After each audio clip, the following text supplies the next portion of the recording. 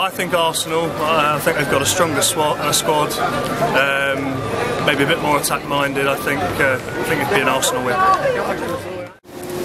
Arsenal are going to win the FA Cup final because Aston Villa are going to bottle it.